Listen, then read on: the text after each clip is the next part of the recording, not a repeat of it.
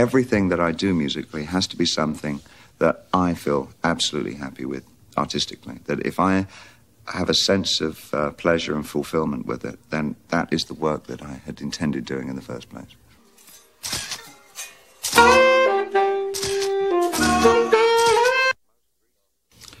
Um, most recently, we lost tragically to the illness of cancer.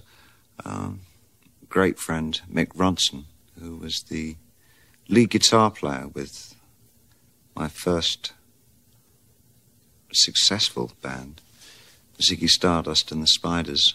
I was fortunate enough to know Mick right until the end of his life. Um, and in the last year of that life, I, I, I'd gotten back very closely with him.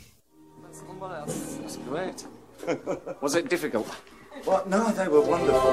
They were absolutely wonderful. just- oh. When Mick and I first worked with the Spiders, one of our songs that we do as an encore was the Cream's I Feel Free. We didn't think we did it very well. We, in fact, only did it once.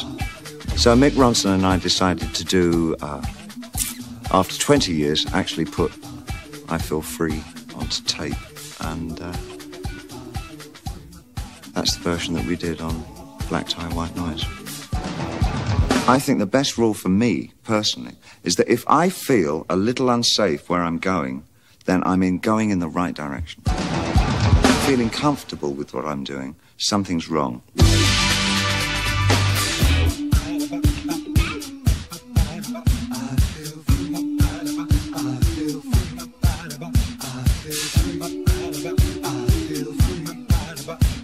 feel.